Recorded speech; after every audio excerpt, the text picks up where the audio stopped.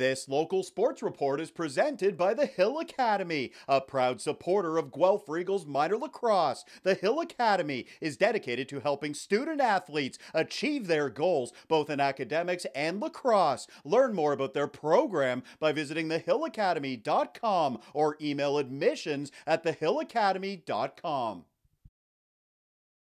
Opening day at the Chuck Miller Lacrosse Classic in Guelph. The hometown United Regals on the floor facing the Peterborough Lakers at the West End Rec Center.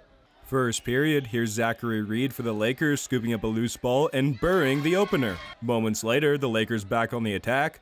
Bryson Crosswell speeds his way into the zone, cuts in, spins, and shoots, and he scores it. And only seconds later, Bryson would convert again blasting in this chance and putting Peterborough up by three. Late in the first now, Lakers power play. Bo Hendricks picks it up for the Regals. He cuts past the defense and lets it loose, and Bo's got a shorty for the Regals. Jumping to the second now, Lakers on the attack. Griffin White picks it up in the corner and feeds Grayson Wolf in the slot. Grayson rips it in, and the Lakers are up 4 to 1.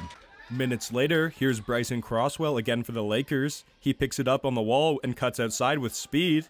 He fights his way out front and finishes it. Headed to the third now, 5 1 Lakers. Griffin White with some space to fire a long shot on net, and it's a laser to the back of the net from Griffin. Later in the frame, Joshua Russell scoops up a loose ball and fires it in, so now it's 7 1 Lakers.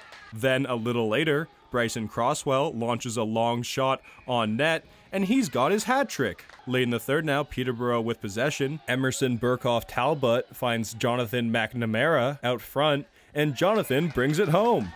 So the Peterborough Lakers offense riding high on Friday in Guelph as they take down the Guelph Regals by a final score of 9 to 1.